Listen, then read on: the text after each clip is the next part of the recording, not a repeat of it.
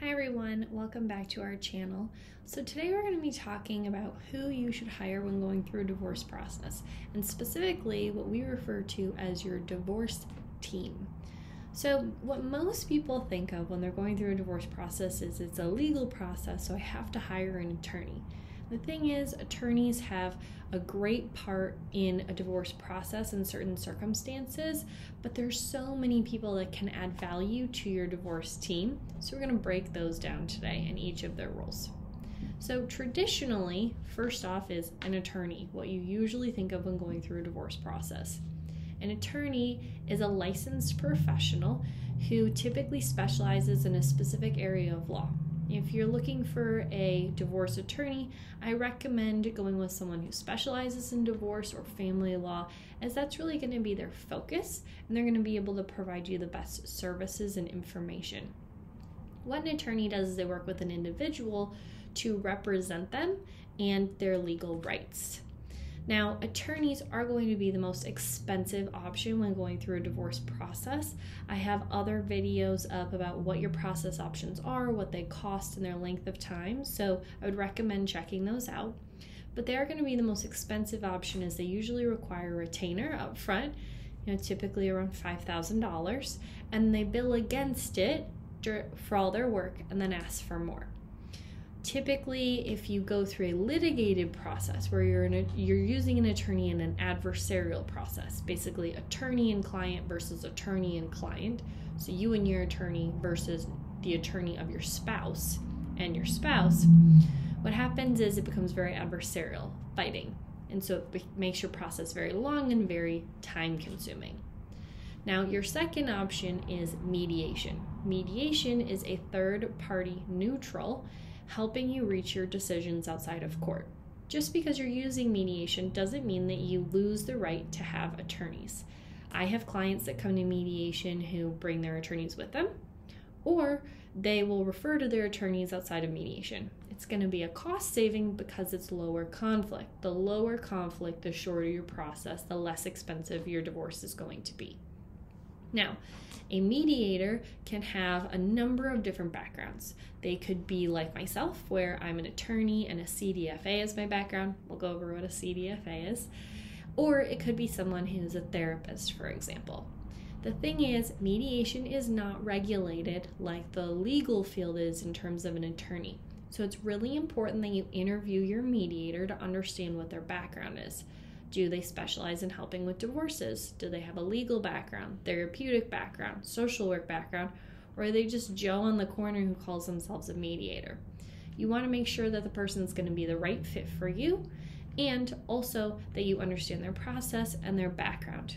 Most mediators are going to offer, just like attorneys, a free consultation or a consultation for a small fee.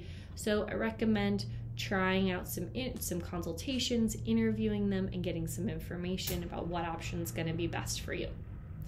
Now, other professionals that are going to help you through your process. There's something as I referred to as a CDFA, Certified Divorce Financial Analyst.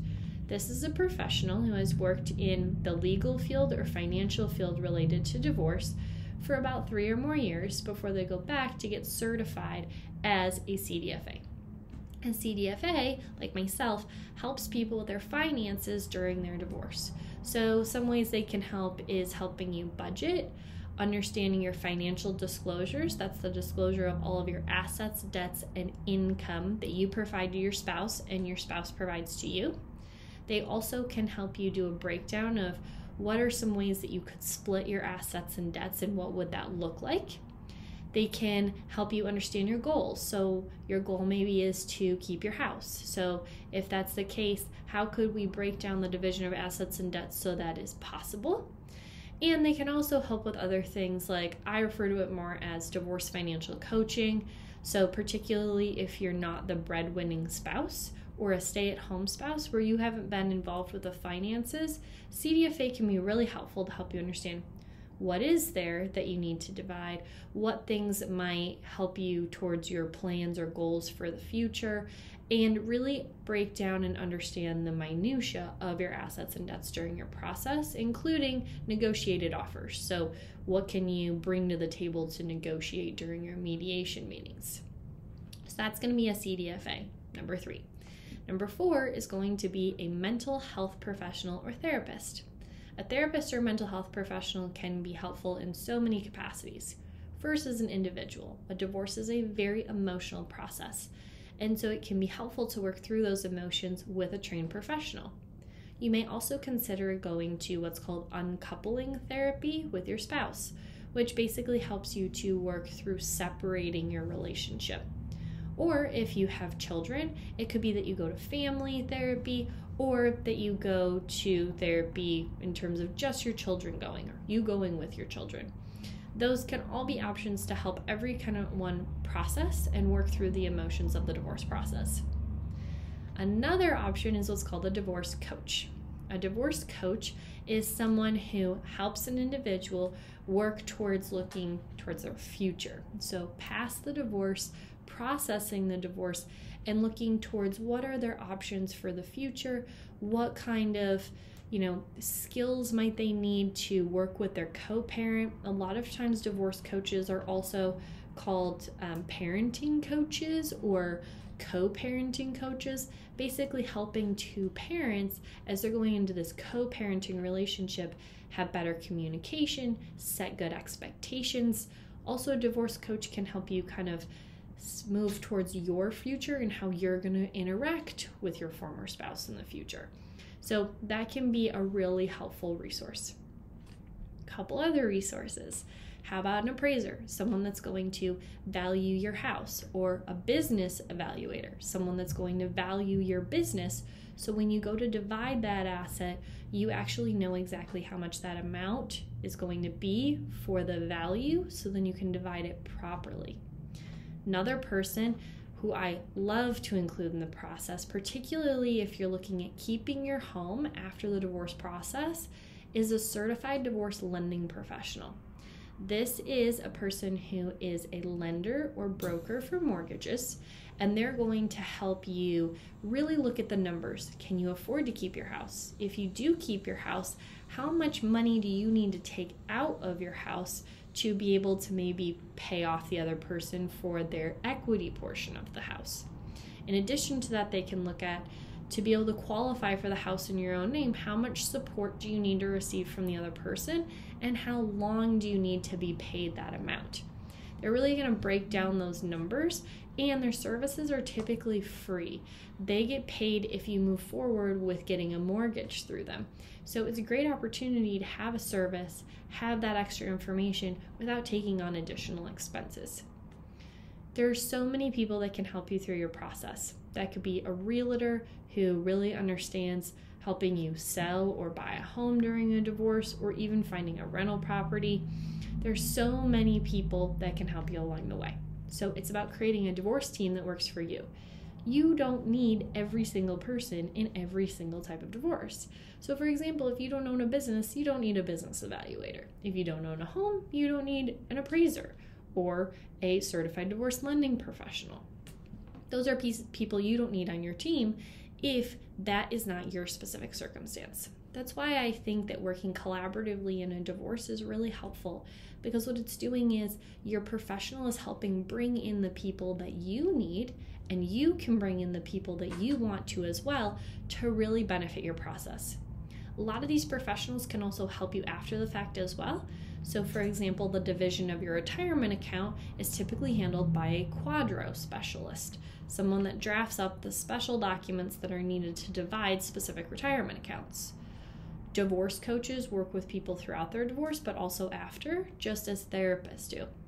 And as a CDFA, I help people during their process of divorce with their finances, but then I always refer them over to a financial advisor or financial planner who can help you with your finances after the divorce when you're looking towards your future.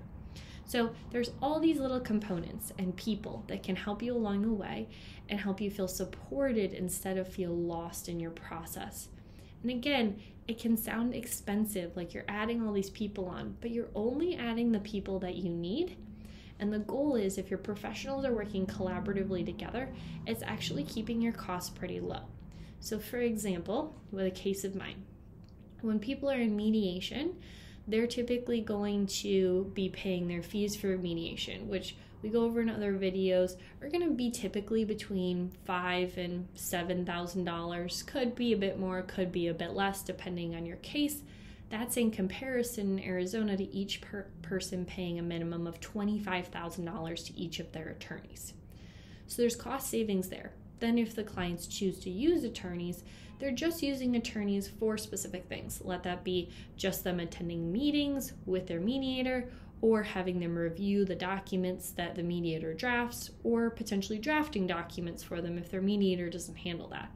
That's going to keep your costs much lower on the attorney end because ultimately they're doing a lot less work and there's a lot less conflict to be handled through the litigation system, i.e., the courts. Then, if you want to add people on, let's say that you add on a CDFA, you might be taking on, you know, around 200 to 300 dollars an hour but they may only need a few hours to handle some pieces as we talked about certified divorce lending professional is going to be free. It's only going to be an expense typically if you actually get a mortgage with them. So, what you're looking at is let's say you are going to just hire an attorney. You're going to pay a minimum of $25,000 on average in Arizona. Again, that's the average. Could be less, could be more, depending on your case. Or you could pay, for example, let's say around five to six thousand dollars for your mediator and then you have some additional expenses on top of it. The other clarification is it's $25,000 per person per attorney. So that's $50,000 total for a divorce, or you could be paying 5 to 6,000 total for a mediator plus the pieces that you want to add on, where you're adding on some time with your attorney, you're adding on some time with a CDFA. Your process is ultimately going to be much less expensive, but now you're getting this breadth of knowledge and all of these people on your team that you're paying for less than you would if you were just paying for one professional. Just something to think about and what kind of support you want. You can always ask your divorce professional what you should be using in terms of specialists or individuals to help with your case as you go along. So, I hope that was helpful in understanding who can be on your divorce team. As always, if you have any questions, please put them in the comments below. And you can always check out more information at couplesolutioncenter.com. But until then, I will look forward to seeing you this time next week. Bye.